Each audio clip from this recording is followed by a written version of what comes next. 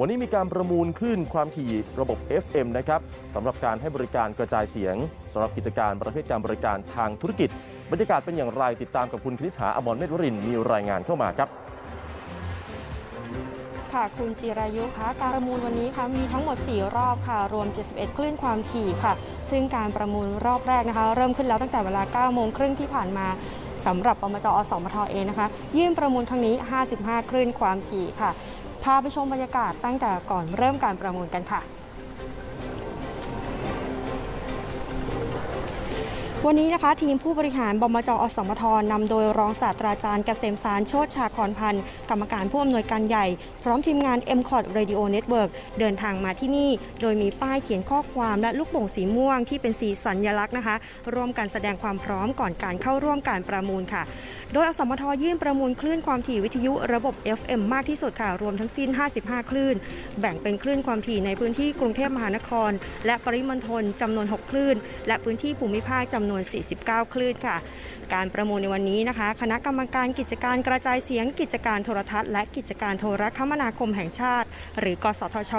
จัดให้มีการประมูลคลื่นความถี่ในระบบ FM สำหรับการให้บริการกระจายเสียงประเภทกิจการบริการทางธุรกิจค่ะ โดยพลเอกสุกิจชมสุนทร ประธานกรรมการ กสทช กล่าวเปิดการประมูลว่า ถือเป็นการดำเนินการครั้งแรกในรอบ 92 ปีเลยล่ะค่ะ เพื่อให้จัดสรรคลื่นความถี่วิทยุอย่างมีประสิทธิภาพ เกิดการพัฒนากับระบบวิทยุ กิจการกระจายเสียงไทย โดยเปิดกว้างให้ผู้ประกอบการได้แข่งขันกันอย่างเสรี ซึ่งจะเป็นก้าวสำคัญของการเปลี่ยนผ่านระบบการขอใบอนุญาตคลื่นความถี่วิทยุ ประเภทธุรกิจของประเทศไทยค่ะ สำหรับการประมูลครั้งนี้ กสทชนะคะเปิดประมูลทั้งหมด 74 คลื่นความถี่ มีผู้ประสงค์เข้าร่วมประมูลจำนวน 71 คลื่นความถี่ค่ะ แบ่งเป็นความถี่ในเขตกรุงเทพมหานคร และปริมณฑล8 คลื่นนะคะ ภาคเหนือ 16 คลื่น ภาคกลาง 6 คลื่น ภาคตะวันออกเฉียงเหนือ 21 คลื่น และภาคใต้จำนวน 20 คลื่นความถี่ค่ะ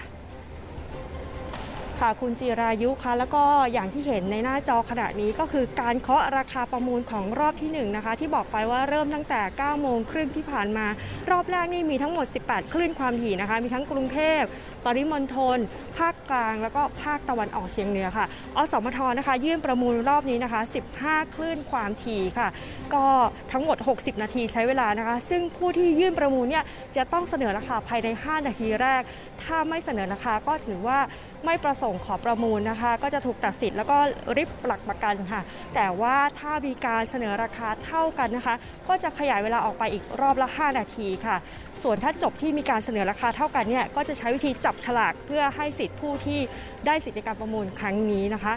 สำหรับการประมูลรอบแรกนะคะ ก็จะจบในเวลาประมาณ 10โมงครึ่งค่ะ หลังจากนั้นกสทช ก็จะประกาศผลผู้ที่ชนะการประมูลในเวลา 10นาฬิกา50 นาที ก่อนที่การประมูลรอบ 2 จะเริ่มต้นขึ้นใน 11 นาฬิกาค่ะ คุณจิรายุคะ ขอบคุณครับ คุณนิฐาครับ